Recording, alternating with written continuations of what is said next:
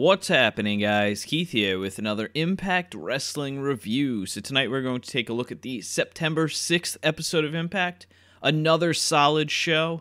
Uh, I feel like they've kind of been spinning their wheels since Slammiversary. No real direction with things. Uh, this felt like the weakest show, in my opinion, since Slammiversary. Um, however, we did get a couple matches made for Bound for Glory. One match people seem to be on the fence about. I think it's going to be a fantastic match. However, the way it was made, it's a little bit of a different story, but we'll talk about that throughout the review. Um, so, yeah, we opened the show with Petey Williams versus Rich Swann, and this was a rematch from Redefine, which happened last week. And I know people were complaining about this being a rematch, saying, what happened to all the first time ever matches that we're used to seeing? Now we see the same crap over and over, like another promotion we all know. So that was uh, one thing. But generally, if Impact does matches like this, there's generally a reason for it. They they use it to build to something else, and that's kind of what happened here. And to be fair, it was a good match. Last week's match was a solid match, and this week's was the same. Petey Williams and Rich Swann are both very competent competitors, and they're always generally going to put on a good match. Um, we saw some good spots here. Uh, first, I want to note that Matt Sydal did join Don Callis and Josh Matthews on commentary. Um, so the beginning portion of the match, it was almost as if there was no match going on because they weren't focused on that at all.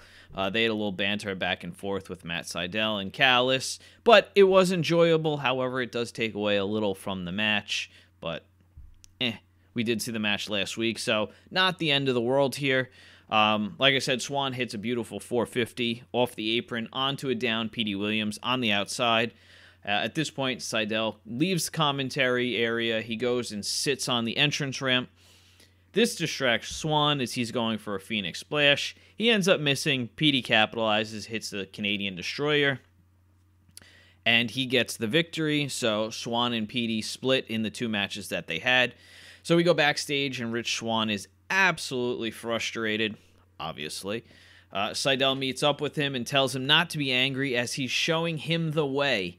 Swann obviously isn't buying this, and he tells Sydal to stay the hell away from him. So obviously, I was on board with the two of them having a program. Um, I really think Sydal has developed so much as a character since I would say the Callis um, D'Amore regime started, just because of the fact that he was known pretty much for just being a high flying guy. He turned heel. He changed his whole uh, move set, completely different game plan. Then we had that nonsense with him and Josh Matthews, which they actually joked about a little later on when we head to the uh, desk of Don and Josh. But um, just the character development, the whole third eye thing, he completely bought into it. And oh, well, I believe this is Matt Sydal. What we see is what we get with him um, in this aspect, anyway. But I feel like since he bought into the gimmick or lives the gimmick, it's so much easier for him to portray that on TV. Uh, but I feel like he's become a cornerstone for Impact Wrestling. And we saw Brian Cage go from, you know, here to here after his feud with Matt Sydal. I know we all saw him being elevated on the card, but I feel like with a feud with him and Matt Sydal really pushed him. Um, we saw him develop as well, and I think we're seeing that from Swann as well. We saw the frustration after the interaction between the two of them, and that's not something we've seen from Rich Swann so far. He's just kind of the happy-go-lucky dancing guy that does awesome shit in the ring. But I think we're going to see some more character development with Rich Swann, and I think that's going to be thanks to Matt Sydal. So that should be good. Hopefully, that will be a Bound for Glory matchup. Um, still over a month to go, so um, they go to Mexico next week for the tapings. I think next week is actually the last week televised from the August tapings, and then the week after we'll have the Mexico tapings. Um, and we have Don and Josh run down the card, and that's when they were joking about the whole spiritual guide that Josh portrayed back in the day, which they dropped very quickly. So up next we have the Desi Hit Squad versus Joe Hendry and Grado. Joe Hendry comes out singing his platonic love song. Um, Desi Hit Squad attack him right away. Pretty standard tag match here. Uh, Rohit Raju pulls Joe Hendry off the apron. Um, they end up hitting a double team. I think it was a knee into a sky high on Grado. They pick up the victory. Um, their whole thing has been they've been on a losing streak, so Gama Singh has uh, been basically beating the crap out of them backstage. Last week, I think we saw him, or two weeks ago, saw him chase them with a broom. Uh, so after the match, Katarina grabs the microphone and she belittles Grado, saying week after week he loses, he's pathetic, so on and so forth. She says that she does not love him, or she's not in love with him, but in love with his best friend, Joe Hendry. So now we all expected Joe and Katarina to get together and, you know, be the same old, same old wrestling heel turn. However, Joe grabs the microphone and said, well, What didn't you understand about platonic love? Uh, so they have a little back and forth, and Joe ends up getting slapped, and Katarina leaves and goes to the back. So I was worried when this whole thing went down. I was like, oh, great. We're going to get Grado versus Joe Hendry at Bound for Glory or something like that. Um, however, that doesn't seem to be the case. Kudos to Impact for going this route with it. Um, it seems like the Desi Hit Squad right now is being utilized to further other feuds. We saw that with KM and Fallah Bahh, now with Joe Hendry and Grado, and I think that's just gonna be where they're going to be for the time being, at least until they add the other members of the Desi Hit Squad, which we know nothing about, and I think that that is going to be their strength is size and numbers, or strength and numbers, whatever you want to call it. Um, when eventually the other two members, if they ever come, because I mean they're still rough around the edges. There there seems to be a lot of work that needs to be done to further them as a real threat. Um, but yeah, and I mean it seems like Impact is going a little heavy with the comedy acts. We have Hendry and Grado. We have KM and Fallah Bahh.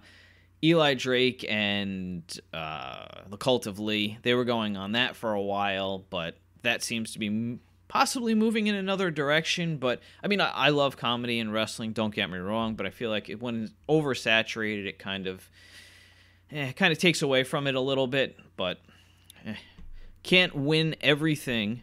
Uh, then we see Grado and Joe backstage, and Joe says that he's mortified and he should have seen the signs with Katarina calling him late at night and all that other stuff. Grado says he trusts him, and then Joe says, You can always trust me. And eh, I, I don't know. I, I still think something's going to happen between the two of them. Then we get the GWN flashback, and that was when Bully Ray wins the uh, TNA heavyweight title.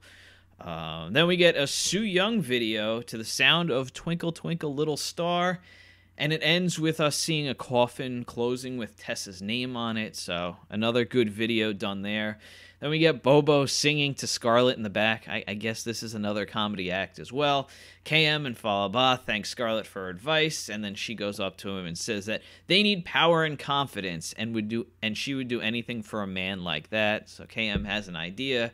So that will continue. Um, I mean, they're always good. I, I, like them as a tag team. I think they work well together, and Impact's at least doing something with the lower card. And the crowd loves them. So that's just a no brainer. You go with what's hot. So then we have the Eli Drake Open Challenge. He comes out not even in ring gear, he's just got workout gear. Um, calls out somebody to come answer his challenge, and we get Stone Rockwell. Um, I love the interaction between the two of them. Stone Rockwell is a fantastic character. I hope we do see more of him in the future. Um, he does have a Twitch show with Impact, so it wouldn't be a surprise that they end up bringing him onto the roster, or at least we see more of him. Uh, they have a very short match. Eli hits the gravy train, and that's it. So I, I think that Impact might as well take a chance and go with a full faced Eli Drake run. I mean, it seems like Impact is very heel heavy, uh, at least in the main event scene. And he is building up little wins here and there, so we are building him up a little more. Um, but I, I just feel like it, it's worth a shot to take. I mean, the people love to boo him. They love Eli Drake because the crowd and him always go back and forth. And again, he's so good at being a heel that it's hard when you get the crowd reaction that he gets. So I, I think it's worth at least exploring for a face turn for Eli Drake and then try to run with it. it it's worth a shot. That's all I'm saying. Then we get uh, Lucha Brothers promo asking Brian Cage basically to team with them against OV, and then they I think they said that even if he doesn't team with them, they're not a threat. It was something to that extent. Uh, then we get Moose, Aries, and Kross, and they're in their own private room. Alicia barges in, asks what's going on, and then the Aries, I believe, said she'll find out along with everybody else. And then Alicia barges in, yelling, and then Aries tells her to worry about her husband and not us.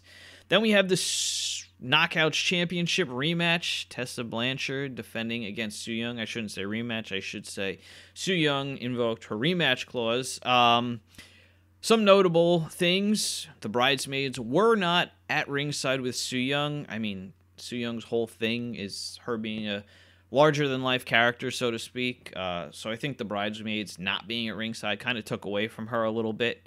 Um, I mean, it was a decent match back and forth. I, I thought they were given, I think, a little over 10 minutes in the match, and, and they did well with it. I mean, it was pretty split. Tessa controlled in the beginning, and then Su Yung controlled after Tessa did what she always does and gets frustrated. She left the ring, uh, went to grab a chair. Her and the ref had a back and forth. She set a chair up. That's when Su Yung took advantage. Uh, Su did hit a beautiful uh, somersault senton onto Tessa when she was sitting on the chair. Uh, we did see Tessa hit a top rope cutter on Su Yung, near fall there. Su ends up setting up for the panic switch. Tessa counters it, hits the hammerlock DDT for the win.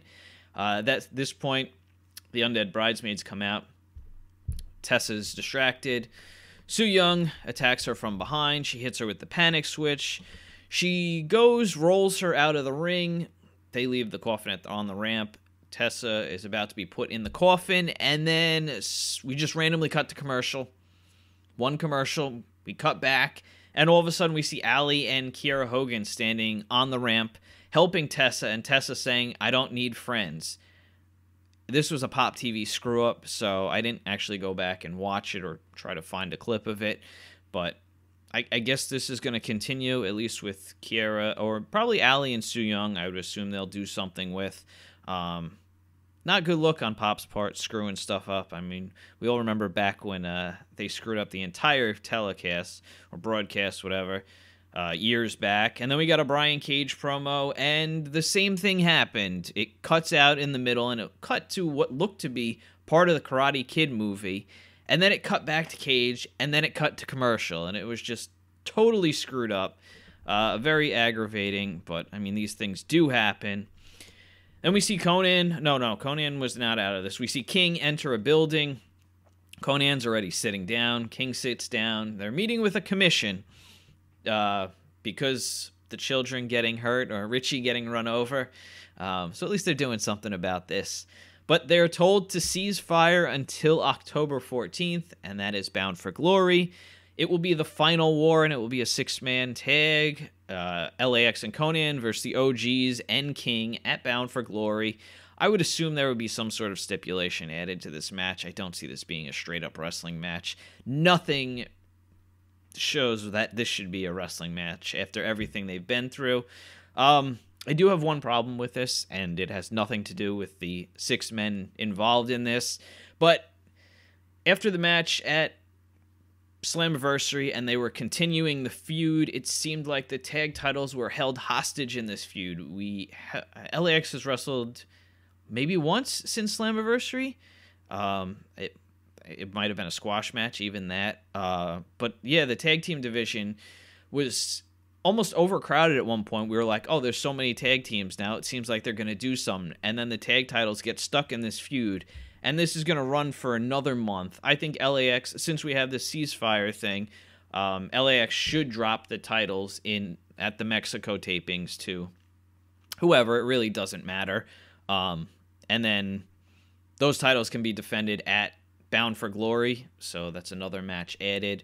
Um, and then have LAX chase the titles after this is all over with, because I would assume the OGs are probably gone after this, and Actually, you know what? Uh, honestly, anything's possible at this point. Um, because then I wonder what King's role is going to be in everything else, or they're going to continue something. I don't know. Um, I'll speculate more as we get closer to the event. Um, but yeah, no, I absolutely think the tag titles need to come off LAX because they're suffering being wrapped up in this feud. Um, then up next, we learn that next week Brian Cage is going to face Kongo Kong, and the Lucha Brothers are going to face the Cult of Lee. Just sometimes these matches come out of nowhere. Um, Brian Cage and Kong, we saw them have a great match. Uh, I don't know why we're going to see another match. And the Lucha Brothers versus the Cult of Lee, that came out of nowhere as well, especially since it seemed like the Lucha Brothers were going to do something with OVE. But I guess we'll see where it goes from there. Or at least the Cult of Lee could have done something with Eli and said, you know what? To prove to you that we're not dummies or whatever, they, they could challenge the Lucha Bros. At least give us a segue into a reason the matches are happening. Uh, up next, we have a six man tag that everybody was looking forward to, and this is Trey Miguel, Zachary Wentz, and Ace Austin versus OVE. Um, when this match started, it was pretty quick, where I think it was Trey and Ace Austin got knocked outside of the ring, and it was Zachary Wentz and Sami Callihan. I think Sami Callihan was setting up for the package pile driver, and I was like, crap, this is going to be a squash match, and we all did not want a squash match. However, I think Zachary had countered the move. He went to the uh, Sami ended up on the outside. Then Trey got his uh, good move in. Zach got a move in, and Ace Austin got a move in, and then they had a good back and forth. Um, I think the match only lasted about four minutes, but we, we did see some flashes of good stuff from both teams. Uh, eventually, OVE puts away Ace Austin with the all seeing eye. And Sami grabs the microphone and says the stuff with Pentagon and Fenix is never over. And then he brings up Brian Cage. So I would assume we will get that six man tag at one point, uh, probably during the Mexico tapings. But we will see. Interested to see what everybody role everybody's role in this is going to be at Bound for Glory, because um, it would definitely be not a good move to put like that six man tag on Bound for Glory because there's too much going on with all those guys for for us to settle for something like that. Um, and that brings us to the main event segment, and we are going to learn why Moose has turned his back on Eddie Edwards and joined Austin Aries and Killer Kross. So Moose comes out. He's got some interesting attire on. I believe he's referred to as Money Moose now. Um, he basically says that Eddie is a fraud and he said Moose says he was there for Eddie with all of his issues with Sami Callihan and um, when he was going crazy and the stuff with Tommy Dreamer. And then when Moose had his match with Austin Aries and he got a concussion, he was in the hospital. Eddie was nowhere to be found. Uh, Kross was actually the only one to show up. And then Aries apparently called Moose. And Aries told Moose that he will never be the number one guy if he caters to all these idiots. Obviously, talking about the fans. Um, and that was good. I, I mean, a heel making good points, you know? That that makes sense. And then this is when I really was confused at why the segment went this way. Uh, Aries started talking about himself, saying that no one was take, taking the title from around his waist, and then this brought out Johnny Impact. He runs down the heels, and he says he signed a contract to face Austin Aries at Bound for Glory, and I'm kind of like, what? I, I thought you were in a program with Kongo Kong. And then I guess what happened between the two of them at that pool or at poolside that ended the feud. I, am just kind of confused here. Um, I believe Aries and Johnny Impact faced off at Crossroads, and they had a good program together. I, I, have no worries about the match quality because the two of them are very capable of putting on a fantastic match. It was just kind of strange that it came out of nowhere. Um, I would expect that we will get Moose versus Eddie Edwards, but that kind of leaves Killer Kross up in the air. Um, I don't know. I don't know where they're gonna go here. Maybe maybe this is your chance to put Eli Drake here and have him face Killer Kross. However, there's no good outcome with that because you want to build up both these guys again. So that's that's what I'm confused about. Um, so obviously Johnny's running down the heels. He makes a little dick joke at Austin Aries. Aries takes offense to that. He goes and fights with Impact on the stage. Obviously, Impact holds his own, and he eventually gets triple teamed. So they end up doing the same thing they did to Johnny Impact that they did to Austin, uh, that they did to Eddie Edwards last week, and that's how we ended the show. Um, not the strongest main event, but like I said, just kind of came out of nowhere, and I think a lot of people are on the or have the same feeling about this as well. Um, let me see. I wanted to go over something, and I just forgot what I was talking about. Oh, um, so it seems like the last couple of weeks, uh, probably post Slammiversary, every show has had at least one really strong match on it. Um, and this show really didn't have any standout match. I mean, the knockout title match was good. Everything was solid, but nothing to stand out. And I figured the storytelling was kind of going to pick up and take care of that, that we didn't need a strong match. However, some things kind of fell flat. Um, like I said, it wasn't a bad episode, just uh, kind of spinning their wheels since I'm almost resting on their laurels a little bit from Slammiversary. Um, no more really pushing the envelope at this point. Um, but yeah, like I said, it's it's going to be interesting. I think we're going to get a huge push toward Bound for Glory at the Mexico tapings. I think we're gonna we're in for some good stuff there. Um, kind of new territory for them to run in, so I'm looking forward to it. Bound for Glory should be good. Um, I'm going to be a little more critical probably on the Bound for Glory card as we build toward it, just for the simple fact that I'm going to be there live. Um, so that that's just one thing. But that's pretty much all I have for you guys this week. Um, hopefully, I'll catch you guys on Sunday for an impact report. I might have it up earlier, I might have it up later, I might not even do one, not sure, since we have the Impact versus the UK at noon on Sunday Eastern Standard Time, so I will be watching that. Um, but yeah, hope you guys enjoyed the show. I hate to be the fact that I was a little more critical than usual, but you know, there's room for improvement, and Obviously, it's all opinion, so everyone has one. But thanks for checking out my video, and until next time, don't forget to like, share, and subscribe. Thanks, guys. Bye.